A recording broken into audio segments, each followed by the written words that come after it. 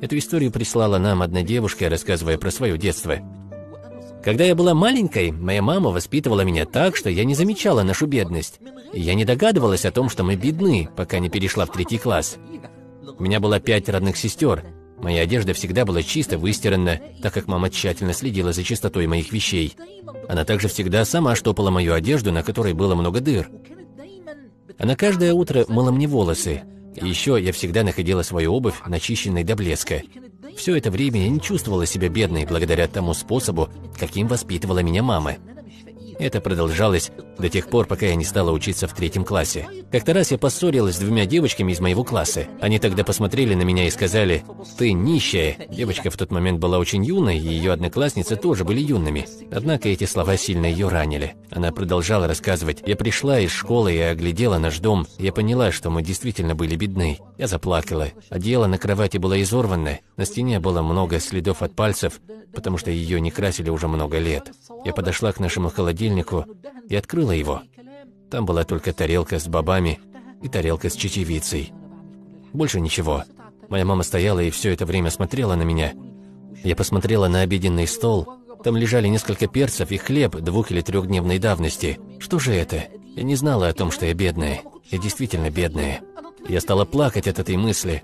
Я подошла к маме и, собрав всю волю в кулак, спросила ее, «Мам, мы что, бедные?» Я думала, что она шлепнет меня по спине за такие слова, но вместо этого мама вдруг посмотрела на меня с большим трепетом. «Бедные? Ты говоришь, что мы бедные?» «Нет, любимая, мы не бедные». Она открыла дверь кухни и сказала, «Посмотри на своих сестренок. Ты видишь, как они улыбаются? Видишь, как они прыгают? Ты видишь, какое у них отличное здоровье?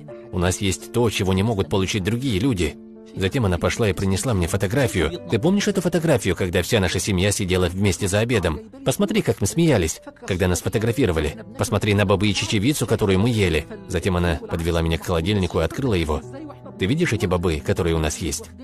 Есть люди, которые не могут позволить себе даже этого. А, ты имеешь в виду, что мы бедные относительно денег? Ну да, возможно, мы и бедные, если это касается денег. Зато у нас есть другие вещи, которые делают нас реально богатыми. Например, другие люди не могут так смеяться, как это можем делать мы. У некоторых людей есть деньги, но у них нет такого крепкого здоровья, как у нас. Может быть так, что люди, у которых много денег, не способны любить других, так как мы любим друг друга. А самое главное, мы честные, и благодаря этому мы еще богаче. Мы богаты тем, что имеем. Сказав это, мама оставила меня одну и пошла на кухню готовить, как ни в чем не бывало. Она и не заметила тогда, как ее слова накормили мой дух и насытили меня больше, чем та еда, которая накормила мой живот. Она насытила мое сердце и душу. Она нарисовала на моем лице улыбку надежды. Я богата.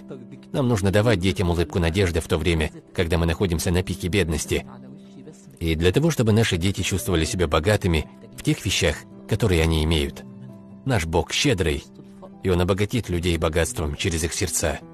Тех людей, которые благодарят своего Господа за то, что имеют, и не теряют надежды.